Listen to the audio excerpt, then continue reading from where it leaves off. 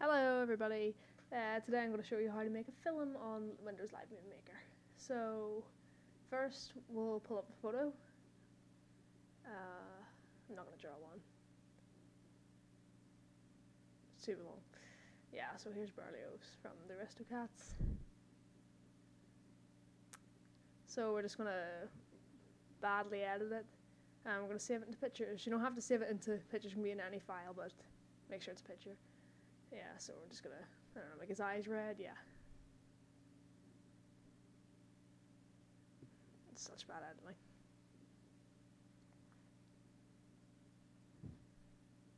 And we'll save it as two. So then you open up Windows Live Movie Maker. There it is. And we'll add a picture. So, oh, this first picture's still there. And the second picture, spelled Berlioz wrong. Yeah, there's the second picture. Right, so as you can see, we have these two pictures. That's all it is. And if you press play, yeah, you'll see. It's just sort of a slideshow, so that's not an animation.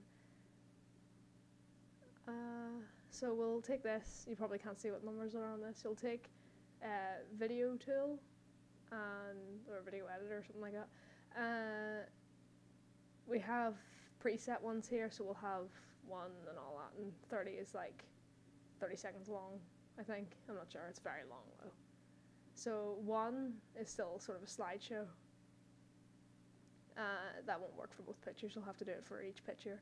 So type in something like 0 0.20 or 0 0.10 and do the same for the other picture, 0 0.10 and yeah, so you get a really quick one. And the quickest you can have is 0.03, so that would be like that.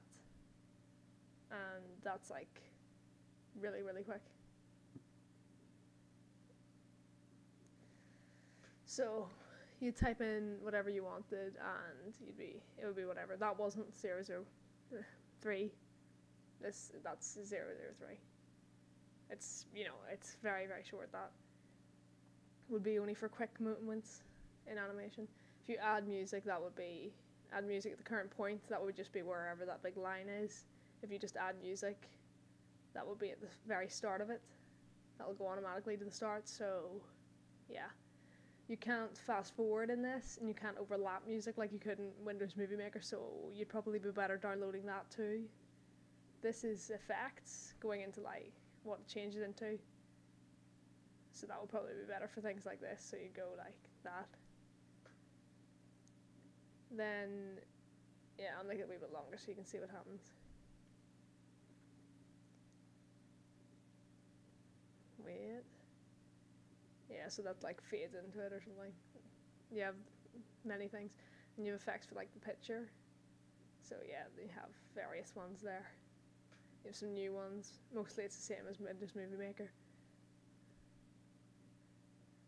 So you got all new ones here, sort of. Uh, I like that one.